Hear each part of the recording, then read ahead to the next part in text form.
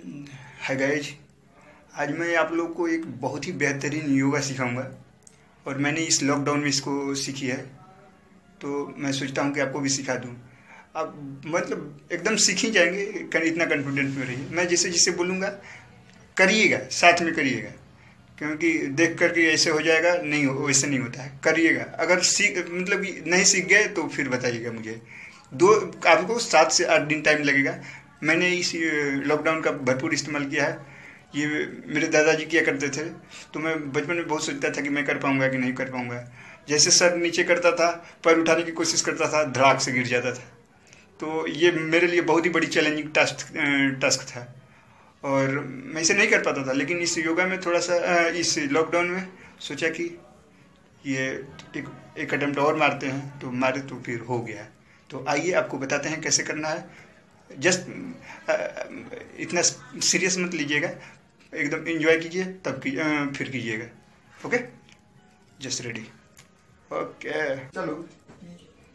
इसको ले लेते हैं ठीक है? टॉयल टाइप की है। इसको लेकर के इसको ऐसे रख लीजिए ये आ, मैं आपको बता रहा हूँ कि आपको कहाँ करना है। आप कहीं भी कर सकते हैं। इट में भी सफ़ा कुछ भी मतलब सरफेस पे करेंगे बेटर मतलब कि फ़ील्ड में तो और ग्राउंड में तो और बढ़िया रहेगा। बट हम स्टूडेंट है नीचे आलस तो समझ ही रहे हैं लेजिनेस कितना रहता है। तो चलिए, मैं इसको बैठी पे बता देता हूँ ओके तो ऐसे लेना है इसको, ऐसे कर दो। उसके बाद हाथ को क्या करना है? इसे पिंच करना है, ऐसे ऐसे पिंच करना है।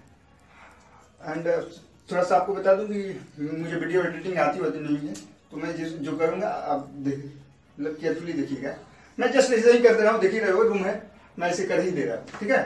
तो ये नहीं कि पहले खोलना आगे तुमने एडिट नहीं किया, मुझे कुछ नहीं आता है। आइए। आपको क्या करना है? चलिए, ऐसे हो जाता हूँ। ऐसे। आपको पहले ऐसे होना है, ठीक है? ऐसे सर को ऐसे रखना है। सर को ऐसे रख। एक चीज़ मैं आपको पहले बताता हूँ। अगर अगर आप फ़र्स्ट टाइम यूज़र हैं तो। फ़र्स्ट टाइम है तो आपको मैं बताता हूँ। क्या करना है आपको? यहाँ ऐसे रख लीजिए। फ़र्स्ट टाइम है तो क्यों? ये एक बाल सपोर्ट हो जाएगा ये बाल सपोर्ट हो जाएगा। आप करेंगे तो अगर गिरेंगे तो या तो इधर गिरेंगे तो इस, इसका सपोर्ट मिल जाएगा इधर गिरेंगे तो इसका सपोर्ट मिल जाएगा। ओके अकेले रूम में तो समझते ही है कुछ ना कुछ एक्सपेरिमेंट होता रहता है। तो I have done such experiment okay first वो ऐसे मैंने रहता है ऐसे करना ऐसे करना है। अब क्या करना है? धीरे धीरे इसको बहुत क्लोज ले जाइए। जितना हो सके। यही फिर एक बार बताता हूँ। जैसे मैंने ऐसे किया, ये पैर को इतना क्लोज ले जाना जितना मतलब पॉसिबल है। और ऐसे करके फंसाए रखना, इसको पैर को पीछे लाते मतलब कि आगे लाते रहना, जितना पॉसिबल है, ठीक है? आइए। लाइए अब मैं क्या करूँगा? इस पैर को उठाऊँगा। इस पैर को मुझे उठाना है और फिर इस पैर को उठाऊँगा। तो चले, देखिए।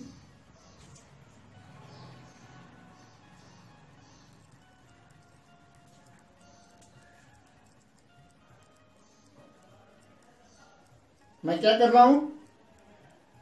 मैं कुछ नहीं कर रहा, बस। अब आपको ये जो करना है, अभी मैं बताने वाला हूँ, हेड वाली बात।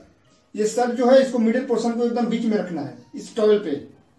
क्यों ना टॉवल पे इसको आपको रखना है। और ये दोनों जो शोल्डर हैं, इस पे उतना भार नहीं आना चाहिए। मतलब भार तो आना ही चाहिए, लेकिन बैलेंस बैलेंस होना चाहिए। अब मैं इसको फोल्ड करता हूँ, फिर आपको एक बार वंस मोर जैसे जैसे मैंने स्टेप किया, वैसे थोड़ा जगह कम है। मैं नीचे नहीं जाना चाह रहा था, इसलिए इसी पे कर दिया, ठीक है? बैठ आइए। आइए, इसको टर्न करते हैं। मैंने क्या किया?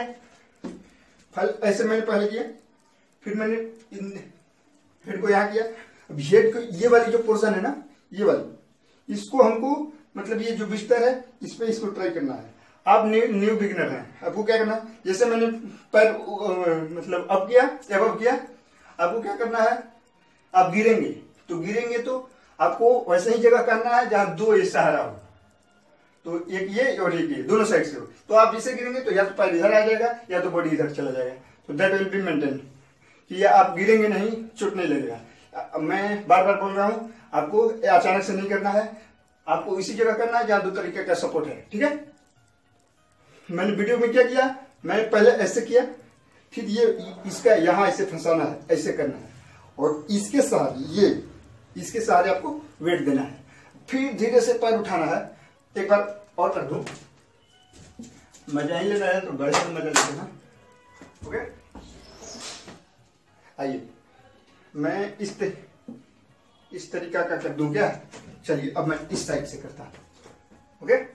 बहुत ही इंटरेस्टेड है बहुत ही मज़ा आप एक बार करके देखिए it's my humble request to you okay?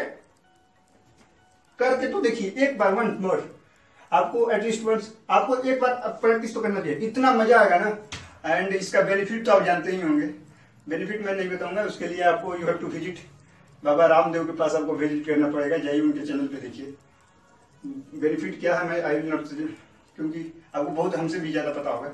मैंने मुझे दो, दो तीन बेनिफिट अच्छा लगा मैंने उसी के लिए स्टार्ट कर दिया और मैं सीख दिया आपको भी अच्छा लगेगा उनके चैनल पे जाइएगा। मैं जस्ट एज मतलब इंटरटेन भी हो गया और एक्सरसाइज भी हो गया इसके लिए मैं कर रहा हूँ। ठीक है? आइए। पहले ऐसे करिए। पर ऐसे मतलब इसको फिर इसको ऐसे इसमें करेंगे। ऐसे, ठीक है? ठीक। है यहाँ नहीं करना है। इसको ट्राई करना है कि ये वाली पोर्शन को ना इसे फंसा करके रखे ताकि बाहर न जाए सर जैसे ऐसे। फिर एक क्या करना ये पैर को नीचे लाना था। पैर को सटाना था, बहुत सटा दिया। फिर इसको धीरे से उठा दीजिए। धीरे से। धीरे से। ठीक है? ये जो ये जो ये जो फोल्डिंग है, थोड़ा टिल्ट कर रहा है, इसलिए मुझे थोड़ा पैर मुझे मेरे पीछे जाने लगा था। ये फोल्डिंग है थोड़ा हिल रहा है। मैं नीचे जाना नहीं चाह रहा था, फिर से बीछना पड़ेगा, ठीक है? और द बेस्ट गाइज़ आपको एक बार प्रैक्टिस करना है, ऐसे ऐसे जगह करना है, यहाँ और यहाँ। मतलब दो सपोर्ट हो। आप जिससे भी गिरे तो आपको मतलब कोई फ़र्क ना पड़े, चोट ना लगे। दो, चार बार, छह बार होगा, लेकिन आप इतना ज़्यादा मतलब बेस्ट महसूस करेंगे ना, आँख एकदम पूरा ये ब्लड का सर्कुलेशन ऐसा होगा ना, पाँच मिनट करके देखिए, बहुत मज़ा आ जाएगा। तो इंटरटेन के लिए रूम में तो कोई है नहीं, पटना में है, फंसे पड़े हैं, कुछ ना कुछ तो करना पड़ेगा, थोड़ा टाइम पास करने के लिए। तो मैंने यही किया और सीख गया okay thank you guys all the best करिएगा ओके थैंक यू